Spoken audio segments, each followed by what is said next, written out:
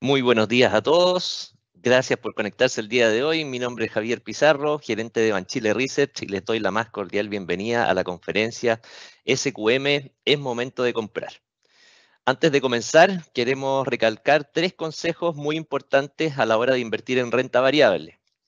El primero es que siempre se mantengan fiel a su perfil de inversionista. En su sitio privado ustedes podrán ver a cuál corresponde y el porcentaje máximo en el cual pueden invertir en renta variable.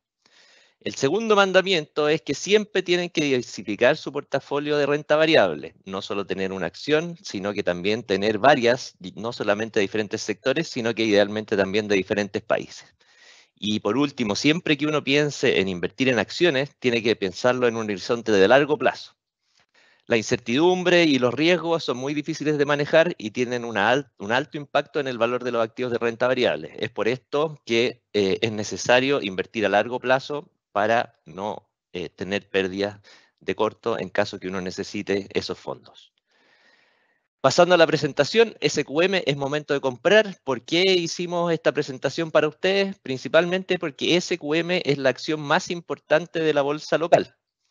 Si ustedes ven en el gráfico de la izquierda, en términos de ponderación del IPSA, un 15% está representado por la acción de SQM mientras que los montos transados en la bolsa son casi un 25%, es decir, un cuarto de todos los flujos que se transan en la bolsa de Santiago que corresponden a acciones del IPSA, corresponden a la acción de SQM.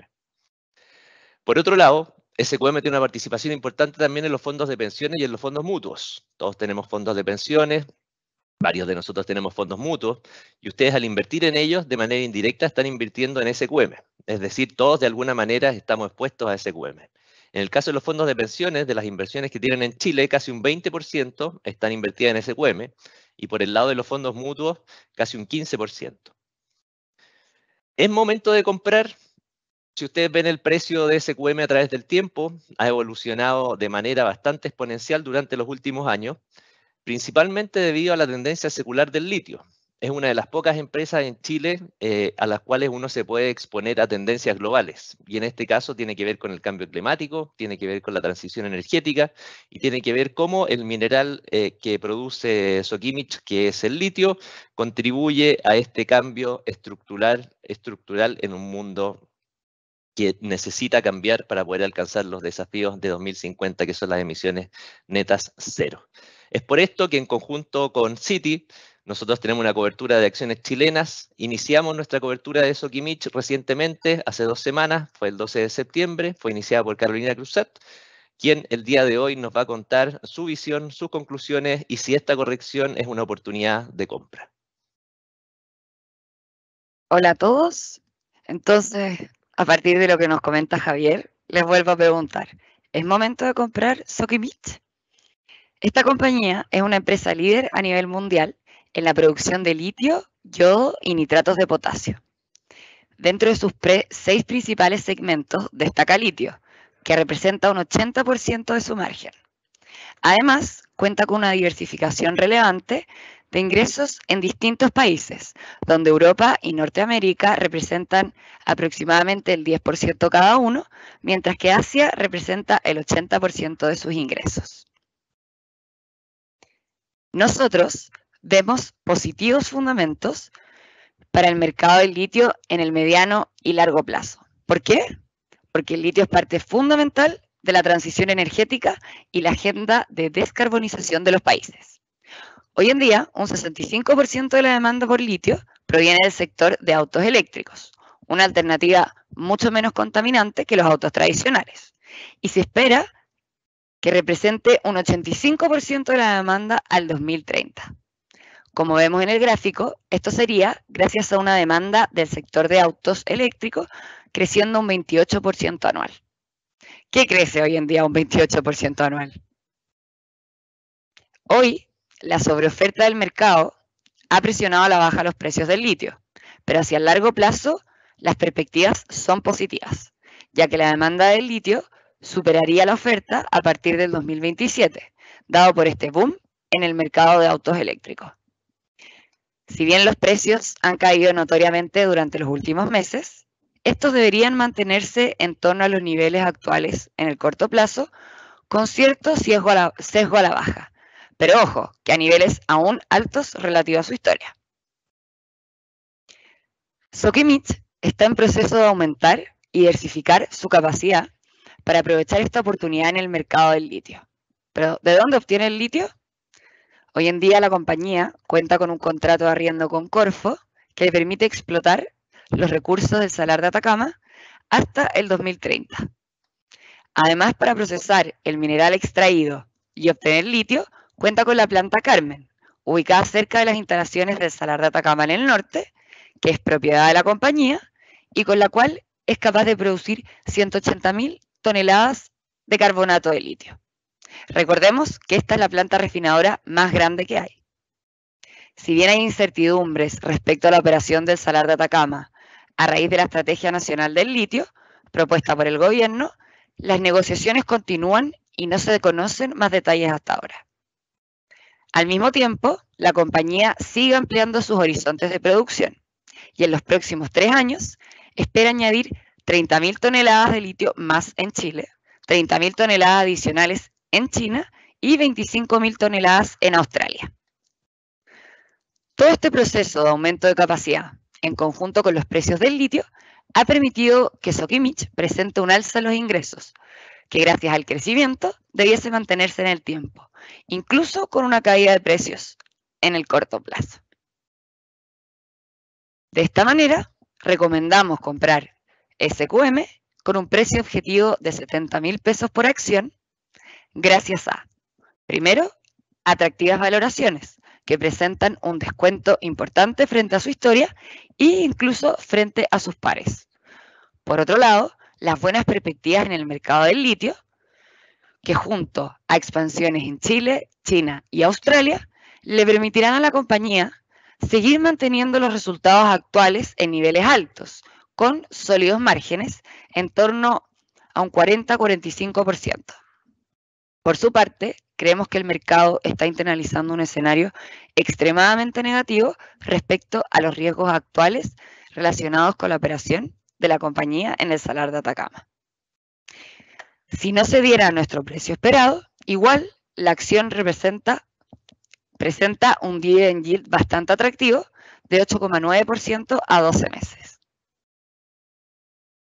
Este es un resumen de nuestras conclusiones de Sokimich. Al final de la presentación eh, vamos a hacer una tanda de eh, preguntas y respuestas, así que ustedes pueden ir mandando sus preguntas eh, por el momento. También contarles que en, nuestro sitio web pueden encontrar el informe completo de Sokimich en caso que requieran más detalles. Pero como les habíamos contado al principio, es importante diversificar el portafolio y por eso también queremos revisar algunas otras recomendaciones que tenemos para ustedes. Primero, la misma pregunta pero que hicimos con Sokimich, pero respecto de IPSA. ¿Es momento de comprarlo? Hemos visto también eh, un ajuste de los precios relativamente importante desde el máximo de 6.400 que tocó algunas semanas atrás. Nosotros creemos que el IPSA hoy día sí presenta una oportunidad de compra, eh, producto de esta reciente corrección. Nuestro precio objetivo para el IPSA es de 6.500, hoy día estamos más o menos en 5.800, lo que representa un upside relativamente atractivo. ¿En qué medida se va a ir dando esto? En la medida, como vemos en el gráfico de la derecha, en que las expectativas de utilidad de las empresas del IPSA vayan repuntando a través del tiempo, como ya se puede ver que está pasando desde junio. Y por otro lado también, cuando las tasas que han, eh, sobre todo las largas que han subido eh, durante las últimas semanas, se ajusten de acuerdo a nuestras expectativas. De toda la cobertura que tenemos de acciones, elegimos además aquellas que eh, tenemos recomendación de compra y que además tienen un retorno total mayor al que esperamos en el IPSA para presentarles también otras alternativas de inversión con un rendimiento atractivo para que puedan diversificar. Entonces, este es el caso de Cencosud, de CMPC, Colbún, Conchitoro, Copec, Entel, Itaú, Sonda y Soquimich. Eh, Felipe y Carolina Celaya, también Carolina Cruzat nuevamente, nos van a contar algunas en profundidad algunas de estas acciones que son las que más nos gustan. Y antes de eso, Florencia Ricci nos va a mostrar el escenario base en el cual hacemos las recomendaciones para que ustedes tomen sus decisiones de la manera más informada posible. Entonces, este escenario macro, ¿en qué entorno están enmarcadas nuestras recomendaciones? Gracias. Bien, bueno, luego de un periodo de inflación muy alta en Chile, que, superó el, 13% anual, eh, debido a shocks externos y también un exceso de liquidez a nivel local, hoy en día estamos en un proceso desinflacionario que se llevó a cabo gracias a una política monetaria restrictiva del Banco Central, que llevó la tasa de política monetaria a un máximo, un 11.25%. En, en, términos inflacionarios, la inflación está bajando, esperamos que continúe también su descenso y ha bajado aún en los componentes que han sido también más, más resistentes, como por ejemplo lo que es la parte de servicios, sin volátiles. Hoy en día la inflación anual está en 5.3%, nosotros esperamos que cierre el año en un 4% y creemos que a final de, 2024 va a cerrar en un 3%, que es la meta del Banco Central. Esto va a permitirle al Banco Central continuar con el ciclo de, reducción de, tasas de interés. Hoy en día estamos en un nivel de 9.5%, esperamos cerrar el año en un 7.75% y creemos que en 2024 eh, este escenario inflacionario, desinflacionario, perdón, va a permitirle al Banco Central eh, llevar la tasa de interés o de política monetaria a un 4.5%. Pensando en futuro, eh, para el 2023 nosotros esperamos un crecimiento del PIB de menos 0.3%. Esto tiene que ver con un proceso de ajuste macroeconómico que conlleva la bajada de inflación que, era necesaria y que, que, se está llevando a cabo. Para el año que viene esperamos un crecimiento del PIB del 1.9%, que es especialmente débil en el componente de inversión y que está eh, inserto en, un contexto de confianzas empresariales y también de confianzas del consumidor que están en terreno negativo. Em, esto es importante tenerlo en consideración porque el, crecimiento del PIB, el crecimiento de utilidades y, y de ventas es importante para la valorización de compañías y de acciones. Las compañías que vamos a ver nosotros ahora son compañías que tienen la característica que van a crecer más, pero que nosotros estamos esperando que crezca el PIB en Chile para los próximos años.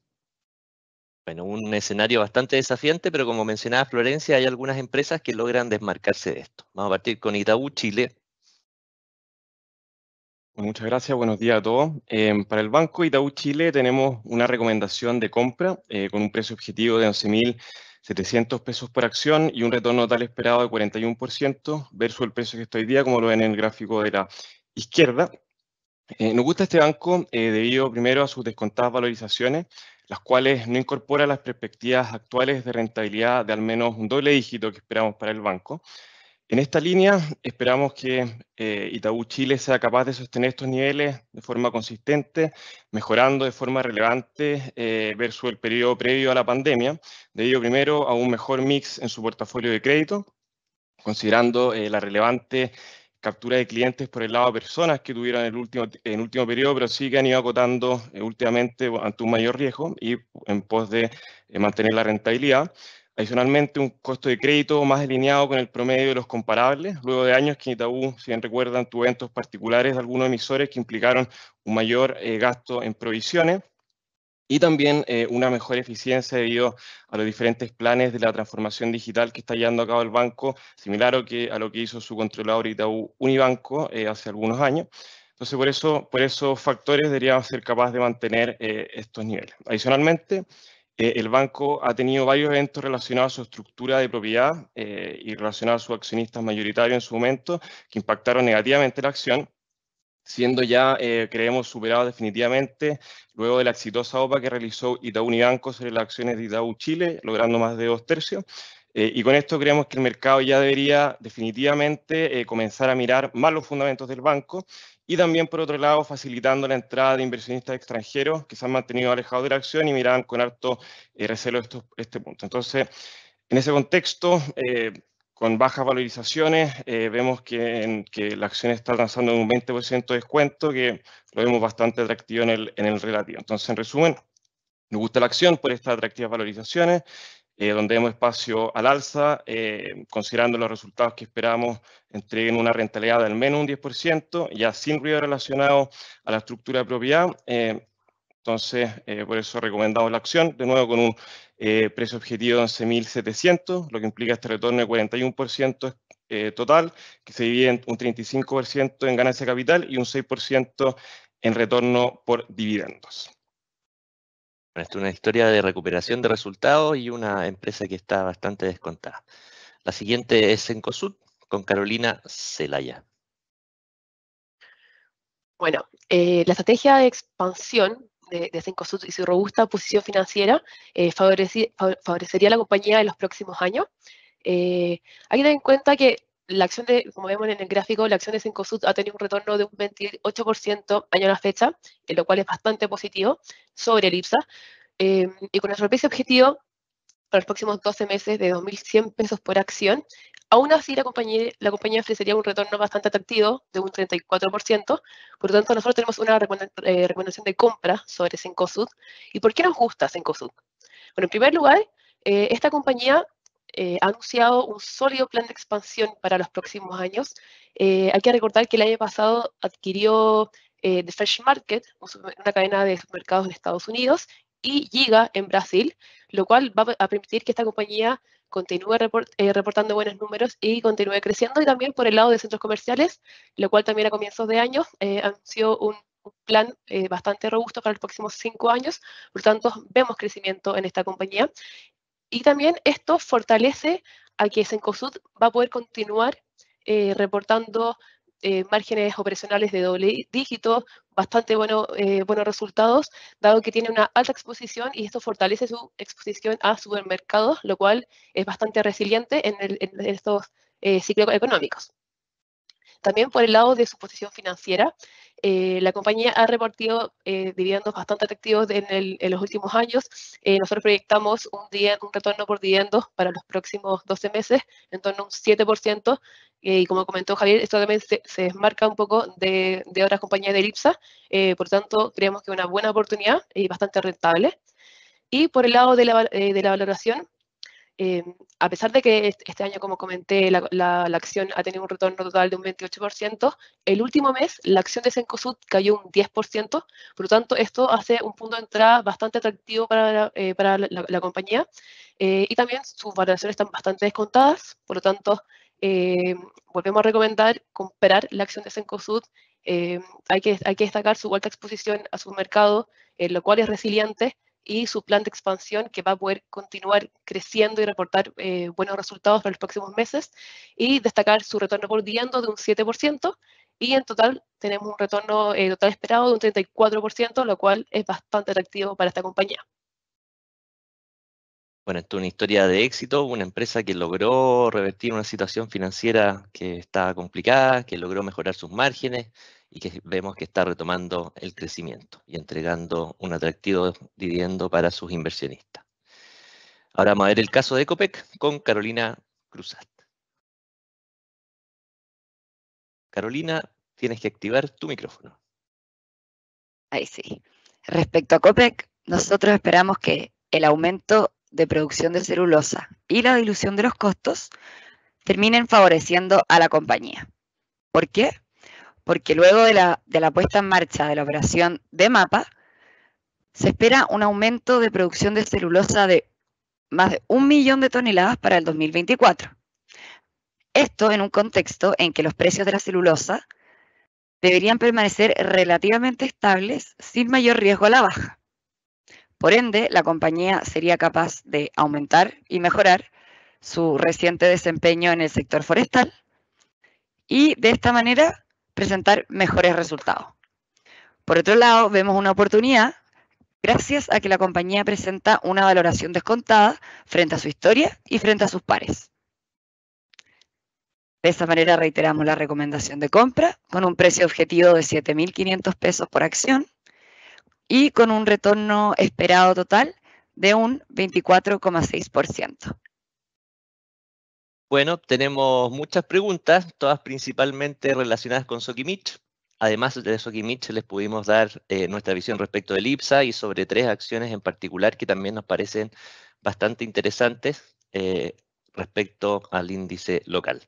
Les pedimos ayuda también previo a la sesión de preguntas y respuestas, eh, contestando esta encuesta que nos ayuda a poder ir modificando la oferta que les entregamos a ustedes, a estas conferencias, y otros. Lo voy a dejar un ratito para poder, para que puedan eh, ver el código QR. Por mientras vamos a partir con las preguntas, eh, están todas, la gran mayoría relacionadas con Sokimich. Voy a tratar de hacerlas todas, eh, dado que la presentación que hicimos fue un, más bien un resumen. Entonces, Carolina Cruzat preguntan sobre el precio del litio. en particular que China, claro, está un poco deprimido, pero después dicen, claro, cómo esto afecta la recuperación del litio, entonces más bien si nos puede dar una misión más de corto plazo respecto de, su precio y cómo esto afecta a la acción de Sokimich. Es verdad que los precios del litio han venido cayendo desde un máximo que alcanzó en mayo de este año y nosotros creemos que los precios en el corto plazo debiesen mantenerse en los niveles actuales con cierto sesgo a la baja. Pero hay que considerar que estos precios, relativos a su historia, siguen siendo altos, por lo que la compañía debería poder seguir con ingresos altos y mantener sus, márgenes actuales en torno a un 45%. Ya en el mediano y largo plazo, los precios deberían aumentar dado el déficit en la oferta que se espera a partir del 2027. Esto es interesante a pesar de que hay proyectos entrando, como por ejemplo acá hay una pregunta que le llama la atención, que Sokimich vaya a producir litio en China y Australia. Claro, la compañía actualmente está con proyectos en China para compró una mina y lo que busca es la producción de hidróxido de litio de 30.000 toneladas al año. Y por otro lado, en un joint venture junto a West Farmers. La compañía espera eh, producir a partir del 2025 en torno a 50.000 toneladas de litio y el joint venture es 50% para West Farmers y 50% para Soki. Por lo que esto implicaría que la capacidad de Sokimich se vería amplificada en, en 25.000 toneladas adicionales.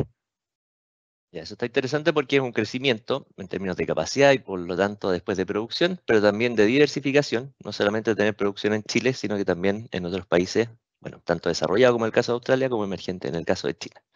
A modo de recordatorio también nos preguntan cuál es el precio de la acción hoy día y qué upside estamos esperando. El precio de la acción hoy día está en torno a 49.900 pesos y el retorno esperado está en torno a 37,9%. Claro, más el dividend yield además. Más, claro, más el dividend yield de un 8,9%. Claro, eso se acerca casi un 50% de rentabilidad esperada. Ahora me imagino que una rentabilidad esperada de ese tamaño implica ciertos riesgos, entonces nos preguntas también echaron de menos un poquito de profundizar en estos mismos. Entonces, si nos puedes contar un poquito más sobre los riesgos que, implica una inversión como esta. Por supuesto. Eh, vemos un importante riesgo al alza y a la baja para nuestro precio objetivo en dos temas que nos llevan a calificar nuestra recomendación como de alto riesgo. Por un lado está la volatilidad en los precios del litio.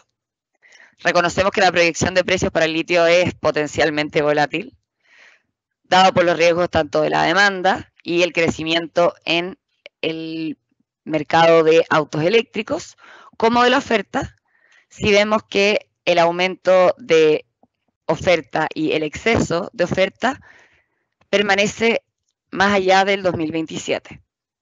Por otro lado, un riesgo importante a considerar es el futuro del negocio de litio y potasio de la compañía en el norte de Chile, dada la nueva política nacional del litio propuesta por el gobierno que podría dificultar las posibilidades de renovar el contrato con Corfo. Mira, justo era la siguiente pregunta. Buenos días. ¿Qué se espera suceda el 2030 cuando venza la concesión del salar de Atacama? Difícil para nosotros poder eh, contarles qué es lo que va a pasar. Todavía hay negociaciones, pero sí puede ser interesante, Carolina, explicar cómo nosotros eh, incorporamos este riesgo en la valoración. A ver, si solo consideramos la operación de litio de la compañía en Chile, sin Australia, y sin el salar de Atacama, pero asumiendo que la planta Carmen, que es de propiedad de la compañía, presta un servicio de, refinación del material al potencial nuevo operador del salar de Atacama o a otro, nosotros estimamos un valor para la acción de 54 mil pesos, lo que se encuentra sobre el precio actual de la acción. Ya, perfecto. Eh, mira, también una pregunta que se repite eh, y que no lo incorporamos en la presentación. Dicen en el IPSA, bueno, eh, o sea, dicen existen dos acciones para SQM. No tengo tan claro si SQMA está en el IPSA o no. Pero SQMA y SQMB. ¿Cuál es la diferencia entre ellas y por qué elegir la opción de SQMB? Si nos pueden contar la diferencia entre una y otra, nosotros tenemos cobertura de la B. Nosotros tenemos cobertura de la B, efectivamente, pero la diferencia principal es que la serie A elige siete directores de los ocho y no tiene liquidez. Por otro lado, la serie B tiene a los, inversionistas minoritarios y tiene liquidez. Estos, los siete directores de la serie A, se dividen entre Grupo Pampa, Tianqi y COA. Grupo Pampa elige tres directores, Tianqi elige a otros tres directores y Kiowa elige a un director. Ya, perfecto. Eh, bueno, para dejar descansar un poco a Carolina, preguntan también eh, sobre Itaú. ¿Qué impacto tuvo la OPA y qué y baja liquidez le asignan al precio objetivo de Itaú? Algo de eso se comentó en la presentación, pero si ahí puedes profundizar un poquito más cómo vamos, cómo se mira esto hacia adelante. Perfecto. Bueno, em, como les dije, Itaú Banco luego de esta eh, OPA, que el objetivo era lograr los dos tercios, eh, logró superar ese, eh, los dos tercios de propiedad luego de, algunas ventas de minoritario.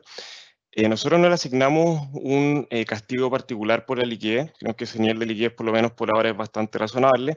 Sí la pregunta principal es, y que bueno, nadie puede responder excepto Itaú Banco, es si el banco va a seguir comprando más acciones posterior a esta OPA, y ahí por lo menos un poco eh, lo que vemos y también las razones que ahorita Unibanco es que ellos están dispuestos a pagar esos 8.500 pesos. Y eso le dan eh, como argumento temas tributarios en Brasil, temas por lo menos de rentabilidad para el banco o, requerimientos de rentabilidad que ellos esperaban para el banco, pero por lo menos nos dieron eh, mucho espacio para que estén dispuestos a pagar más de 8, esos 8.500. La acción posterior a esto, posterior a la OPA subió, ahora cae un poco, pero a estos niveles por lo menos no vemos todavía mucho espacio para que el banco siga comprando. Obviamente cualquier cosa puede pasar, pero por ahora por lo menos eh, vemos que hay un, riesgo más acotado, a menos que obviamente el precio de la acción caiga sobre esos 8.500. Eh, claro, y esta es una acción que está muy relacionada con, el escenario económico. Eh, ¿Cómo se ve reflejado en, tus proyecciones, Felipe, lo que nos contaba Florencia? Y después preguntarle a Florencia también cuáles son los principales riesgos que ve para ese escenario económico bueno, obviamente los bancos están, eh, los, principales eh, drivers de crecimiento de sus resultados son la macro, precisamente eh, las tasas de la inflación. con el contexto macro que dijo Florencia, con poco crecimiento, pero con ya una inflación algo más normalizada y también las tasas a la baja, vemos que el banco quería llegar a ese 10% que les mencioné versus un 9,5% este año, excluyendo algunos, un one particular que tuvieron de un pago que le hizo Cardiff. Eh, entonces, eh, por lo menos lo que vemos el otro año es crecimiento eh, o relativamente estable en términos de crecimiento de utilidades, con un, llegando a este, estos 10%, márgenes relativamente estables, un, costo de riesgo en torno a 1, 1, 2, que es bien alineado a lo que es la industria. En su momento, Itaú Chile estuvo en torno a 1,5, 1,6, ese costo de riesgo que es relacionado a las provisiones. Vemos ya mayor eficiencia, con una, un target de eh, en torno a un 45% para otro año, versus eh, hacia mediano plazo lo que espera el banco llegar a un torno a 42, 43. Y yo creo que algo importante hacer para este banco el crecimiento de las comisiones para otro año, particularmente de la mano de esta alianza que hicieron con Cardiff, eh, que va a utilizar todo su canal de distribución, que al final implica un mayor fee para la compañía. Así que entonces, un poco resumen, más, un año más normalizado ya para el banco con estos niveles de inflación y tasas que esperamos. Y Florencia, ¿hay alguna posibilidad que la economía, la macro, nos sorprenda por el lado positivo en algún momento? Em, sí, y bueno, primero quizás volviendo a, los principales riesgos, los principales riesgos que nosotros, nosotros estamos inmersos en este proceso desinflacionario. ¿no? Em, el principal riesgo que nosotros estamos monitoreando hoy en día tiene que ver con justamente un repunte en, la inflación y, lo que se está viendo o lo que se está eh, monitoreando es el tema del tipo de cambio, el precio del petróleo que impactan eh, directamente en, en, la inflación local. Em, nosotros tenemos incorporado a nuestro escenario em, un precio del petróleo que se mantiene relativamente estable a los precios actuales eh, y también tenemos eh, incorporado en nuestro escenario un, tipo de cambio que es el proyectado para nosotros hacia finales de año en 8.40.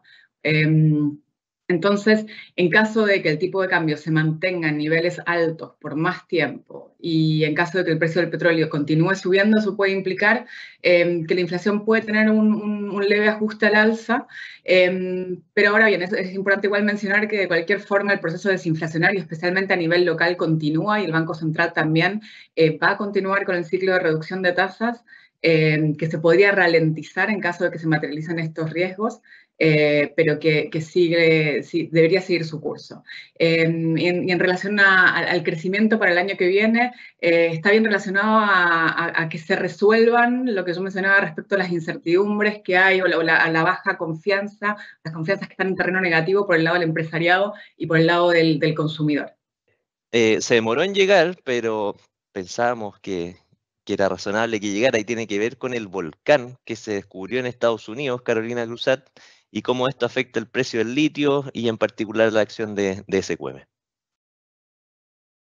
Respecto al volcán de litio, que es el yacimiento que se descubrió en Estados Unidos, la verdad es que el riesgo que presenta para Sokimich y para el resto de los productores mundiales de litio, nosotros consideramos que es bastante bajo.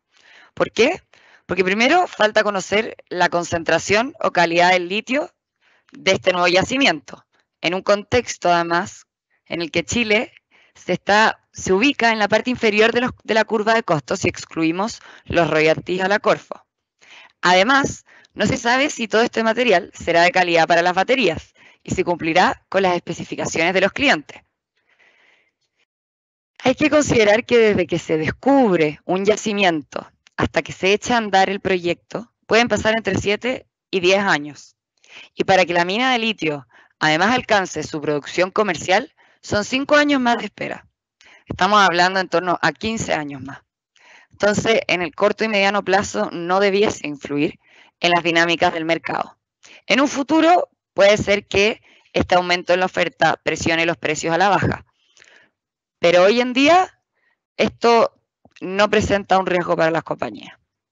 No presenta un riesgo importante. Y a propósito de lo mismo, eh, es una pregunta difícil de responder, pero sí más o menos cuál sería el piso dado el precio del litio actual. Preguntan, ¿ustedes creen que el precio de la acción seguirá bajando? Eso es futurología, pero sí se pueden mostrar ciertos pisos y, techos, ¿no es cierto? Claro. Respecto a los precios del litio, nosotros creemos que, que debiera mantenerse en los niveles actuales, en torno a 20.000, 19 mil dólares por tonelada. Hasta durante el 2024, 2025 quizás repuntar un poco, pero, pero en esos niveles, mientras haya oferta entrando al mercado. Y respecto a la acción, la acción actualmente internaliza un riesgo excesivo, consideramos nosotros, respecto al resultado de las negociaciones entre el gobierno y Sokimich. Mientras esa incertidumbre no pase, probablemente la acción seguirá transando en niveles más bajos, pero deberíamos tener respuesta antes de que termine el año. Y una vez disipado esa incertidumbre, el precio de la acción debiese subir. Debiese subir y estamos esperando un retorno relativamente atractivo 35% creo que mencionaste, más un retorno por dividendos de... De 8,9%. De 8,9%. Entonces, esto siempre recordar que es a largo plazo, en el corto plazo, como la, era la pregunta anterior, es muy difícil decirlo, pero sí se pueden comentar sobre las asimetrías de riesgo. Lo que estamos viendo hoy día es que al parecer los riesgos van más hacia el alza que hacia abajo, porque la acción estaría incorporando un escenario demasiado negativo. Hay que eh, considerar Ah, perdón. Cuéntame, cuéntame. Un, comentario más. Hay que considerar que el mercado del litio es un mercado bastante nuevo y la volatilidad del precio del litio juega un rol muy importante en el corto plazo. Cuando queremos evaluar una acción en términos de largo plazo, ahí lo importante es fijarse en cómo están las dinámicas en el mercado. Si efectivamente el segmento de autos eléctricos está creciendo, nosotros anticipamos que debiese crecer un 28% anual de aquí al 2030.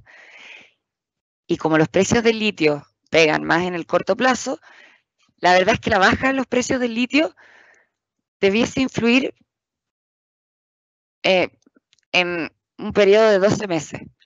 Ya hacia adelante deberíamos ver un efecto en el precio de la acción que viene ya de dinámicas fuertes y este boom en los autos eléctricos. Bueno, entonces para ir cerrando, vemos una muy buena oportunidad en Soquimich con una rentabilidad relativamente alta, en el mercado accionario también, eh, de una manera más diversificada, uno puede obtener una rentabilidad relativamente atractiva de 15%. Y por otro lado tenemos algunas alternativas, como nos contaba Carolina, Felipe y bueno, y la misma Carolina Cruzat también, en, otras acciones también, tales como Itaú, Sencosud y Copec. Eh, pero para ir cerrando, siempre viene esta pregunta y tiene que ver con Falabella.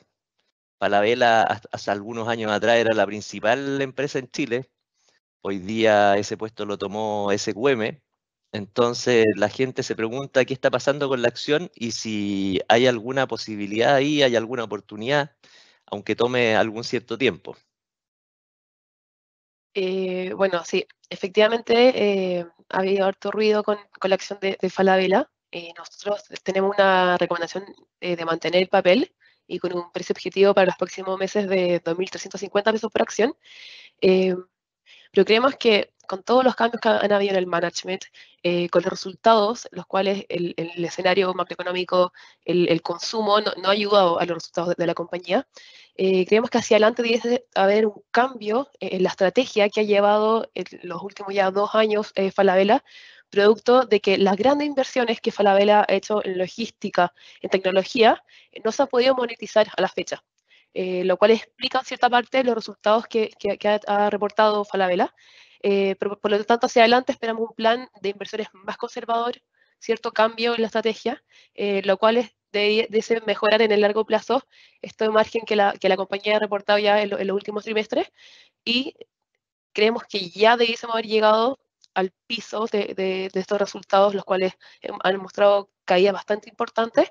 Em, aún no se ve una recuperación en consumo, pero creemos que la magnitud de la caída de estos resultados debiese ser cada vez menor. de todas eh, maneras, es un papel al que hay que estar mirando eh, nuestro rol es que ustedes tomen su decisión de inversión de la manera eh, más eh, controlada y con el mayor conocimiento posible. Y en ese sentido, en el sitio privado, ustedes pueden encontrar todos los reportes que tenemos, las recomendaciones, lo mismo en las redes sociales. También subimos algunos resúmenes y estas mismas conferencias.